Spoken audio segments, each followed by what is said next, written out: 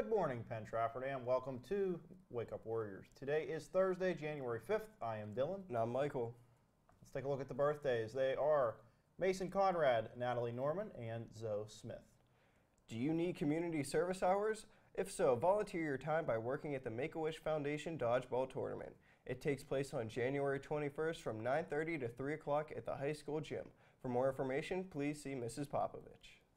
It is scholarship season. Digital copies are not available, and there is not a scholarship website this year. Paper copies of scholarships are available in the library, so please visit the library for many opportunities. After completing the applications, please return them to Ms. Manupelli in room 144 before the scholarship due date. Remember that official transcripts must be obtained in guidance. Unofficial transcripts will be handled by Ms. Manupelli. Make sure to flag the, the scholarships that ask for transcripts. Good luck in finding some much needed money for school.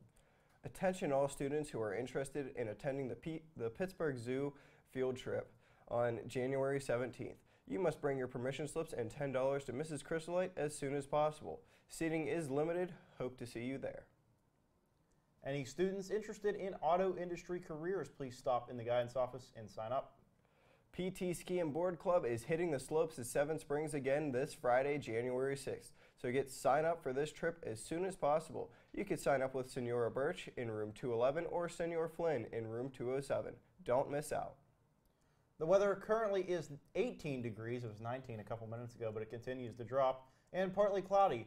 Today it will be cloudy with a high of 24 degrees. Tonight it will be snowy with a low of 20 degrees. Better watch out. There was a winter weather advisory. In sports, anyone interested in participating for the in the football team for the 2017 season, there will be a meeting today, January 5th at 3 o'clock in the Warrior Center. Newcomers are more than welcomed.